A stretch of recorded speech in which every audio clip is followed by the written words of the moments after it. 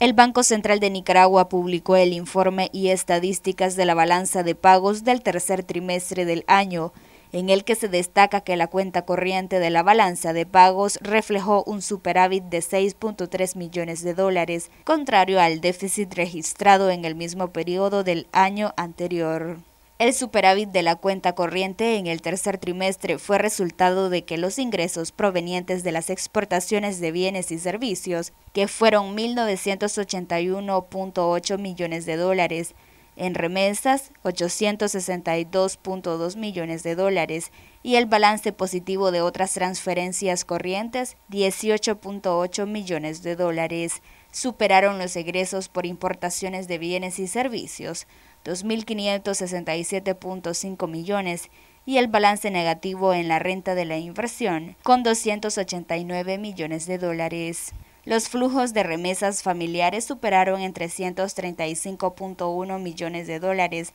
al registrado en el tercer trimestre del 2021 y en 98.6 millones al observado en el trimestre anterior. La cuenta de bienes y servicios registró un déficit de 585.7 millones de dólares en el tercer trimestre del 2022, reflejando un incremento del 10.7% con respecto al mismo trimestre del 2021 y de 121 millones de dólares con respecto al trimestre anterior. La misiva reza que la cuenta de capital presentó un superávit de 7.7 millones de dólares como resultado del ingreso de transferencias netas de capital recibida en su totalidad por el gobierno general.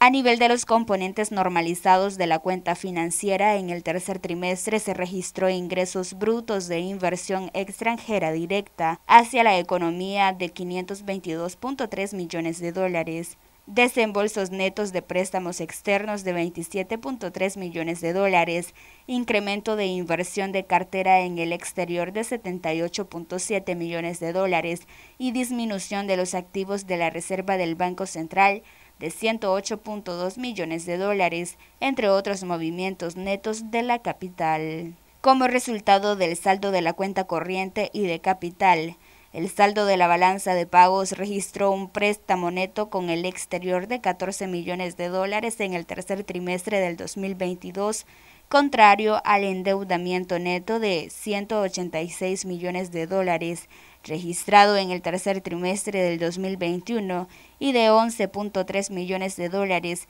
registrado en el trimestre anterior. Para Noticias 12, Luisa Centeno.